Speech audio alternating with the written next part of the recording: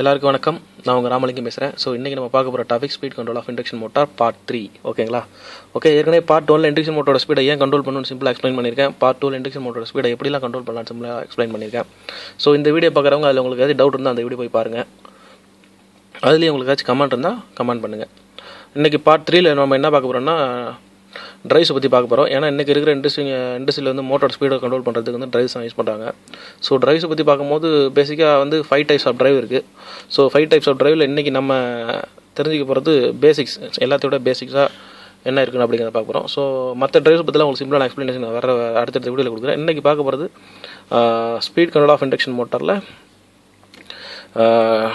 AC drive பற்றி பார்க்க போகிறோம் ஓகேங்களா ஸோ ரெண்டு டைப் ஆஃப் டிரைவ் வந்து இண்டஸ்ட்ரீஸில் பொதுவாக இருக்குது ஒன்று ஏசி டிரைவ் இன்னொன்று டிசி டிரைவ் ஸோ டிரைவ்ஸில் வந்து ரெண்டு டைப் இருக்குது ஒன்று வந்து ஏசி டிரைவ் இன்னொன்று வந்து டிசி டிரைவ் ஓகேங்களா ஸோ ஏசி டிரைவில் வந்து ரொம்ப பேசிக்காக ரெண்டு டைப் இருக்குது ஒன்று வந்து வேரியபிள் வோல்டேஜ் டிரைவ் இன்னொன்று வந்து வேரியபிள்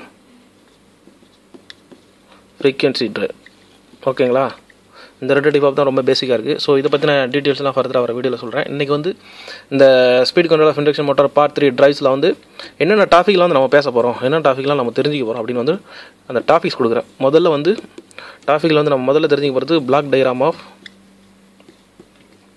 drive AC drive ஓகேங்களா block diagram of AC drive ரெண்டு வந்து block diagram of sorry circuit diagram of AC drive மூணு வந்து கண்ட்ரோல் ஆஃப் ஏசி டிரைவ் எப்படிலாம் இந்த ஏசி டிரைவ் வந்து கண்ட்ரோல் பண்ணலாம்? என்னென்ன கண்ட்ரோலிங் மெத்தட்ஸ் இருக்குது அப்படிங்கிறது பார்க்குறோம் கண்ட்ரோல் ஆஃப் ஏசி டிரைவ் நாலு வந்து ஃபீட்பேக் என்னென்ன ஃபீட்பேக் டிவைஸ்லாம் அந்த இதில் யூஸ் பண்ணியிருக்காங்க ஃபீட்பேக் ஆஃப் ஏசி டிரைவ் அஞ்சு வந்து பிரேக்கிங் ஸோ இண்டக்ஷன் மோட்டர்னாலே பிரேக்கிங் இருக்கும். ஸோ என்னென்ன டைப் ஆஃப் பிரேக்கிங்லாம் இருக்குன்னு பார்க்குறோம் so braking of AC drive ஆறு வந்து programming of AC drive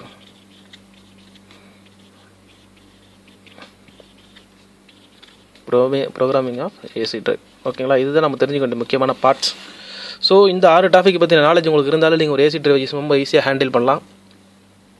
so இந்த ஃபர்தராக இந்த ஒவ்வொரு டாபிக் பற்றியும் ஒவ்வொரு வீடியோ வந்து ஃபர்தராக ரிலீஸ் பண்ணுறேன் ஸோ இந்த வீடியோவில் வந்து டைம் இல்லை. உங்களுக்கும் நிறையா ஜிபி காலியாகும் மெமரி நிறைய எம்பிஸ் வந்து காலியாகும். அதனால தான் நான் வந்து பார்ட் பார்ட்டாக சின்ன சின்ன வீடியோ அப்லோட் பண்ணுறேன் இது எல்லாத்தையும் ஒரே வீடியோ போட்டால் மோர் தென் ஒன் ஹவர் ஆகும். ஸோ அவ்வளோ நேரம் நம்மளால் நெட் யூஸ் பண்ண முடியாது அதனால தான் நான் உங்களுக்கு பார்ட் பார்ட்டாக சின்ன சின்னதாக ரெண்டாவது நீங்களே கன்ஃபியூஷன் ஆகக்கூடாது அப்படிங்கிறதுனால தான் சின்ன சின்னதாக எக்ஸ்பிளைன் பண்ணுறேன் ஸோ இந்த வீடியோ உங்களுக்கு பிடிச்சிருந்தா இந்த வீடியோவில் கமெண்ட் பண்ணுங்கள் இந்த இங்கே வந்து டிசி டிரைவ் சொல்லியிருக்கேன். ஸோ டிசி டிரைவ் பற்றி ஃபர்தராக அடுத்தடுத்த வீடியோவில் வந்து பார்க்கலாம். முதல்ல ஏசி டிரைவ் கம்ப்ளீட் பண்ணணும். அடுத்து டிசி டிரைவ்க்குள்ளே போகலாம் ஓகேங்களா ஸோ தேங்க்ஸ் ஃபார் வாட்சிங் இந்த வீடியோ உங்களுக்கு பிடிச்சிருந்தா இந்த சேனல் சப்ஸ்கிரைப் பண்ணுங்கள் உங்களுடைய எண்ணங்களை கமெண்ட் பண்ணுங்கள் ஏன்னா அது ரொம்ப முக்கியம் எனக்கு. நீங்கள் என்ன நினைக்கிறீங்கன்னு எனக்கு தெரிஞ்சுக்கணும். இல்லை உங்களுக்கு எதாவது டவுட் இருந்தாலும் எனக்கு தெரிஞ்சுக்கணும். அப்போ தான் நான் வந்து இன்னும் கிளியராக எக்ஸ்பிளைன் பண்ண முடியும். இந்த வீடியோவை இன்னும் இம்ப்ரூவ் பண்ண முடியும். So thanks for your support thanks for வாட்சிங் தேங்க்யூ பை பாய்